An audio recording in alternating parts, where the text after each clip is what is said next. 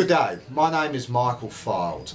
I work in Adelaide, South Australia. I am a remedial, muscular, injury and fully certified Dr. Vodder therapist.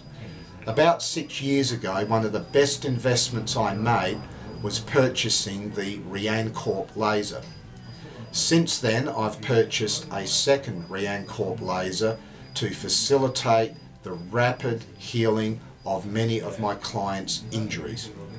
For example, some of the things that my clients and I have used the laser on vary from plantar fasciitis, Achilles tendonitis, strains and tears in every muscle from calf muscles to hamstrings, thighs, groins.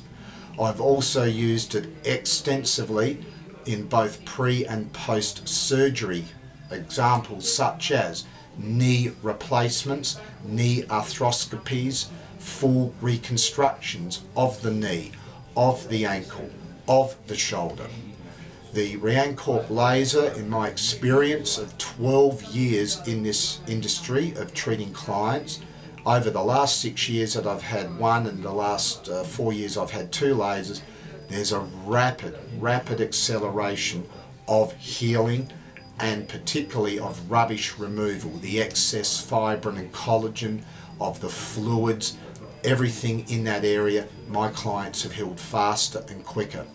This has been stated to me by head physios uh, personally and also has been recognised by a number of orthopaedic surgeons in Adelaide who have remarked in writing in letters to me that they are amazed at the amount of swelling reduction in the knees and shoulders and ankles that they have operated on. Uh, other areas, uh, for example, when I treat a client, I will always apply the laser to the lymph nodes for that quadrant. For example, a leg injury, I will laser over the inguinal lymph nodes, I'll do the popliteal lymph nodes behind the knee and then work the laser through, over and around the injured area, whether it's a strained muscle, a torn muscle or a knee reconstruction replacement or for say a fibula that's been pinned, plated, rods inserted into a tibia and so on. Uh, for ribs, I'll always do the axial lymph nodes in the armpit, work through the intercostal spaces to stimulate the intercostal lymph nodes uh, before I do any Vodder work or light effleurage work. Shoulders, similarly, I will work through the axial lymph nodes and even do the subclavians to open those up. Overall, I think it's one of the best investments I've made.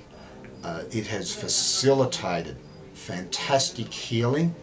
Uh, I have a big scar on my left knee that had over 36 stitches put into it and lasering has seen no keloid scarring in it whatsoever.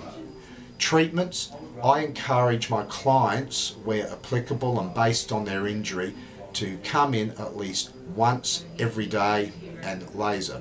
The more diligent clients come in once a morning and once in an afternoon or evening. And I encourage them to laser at least twice a day for the first week to two weeks of their strained muscle or torn muscle or their surgery. Again, everything has been of enormous benefit to our whole client base, no matter what their age.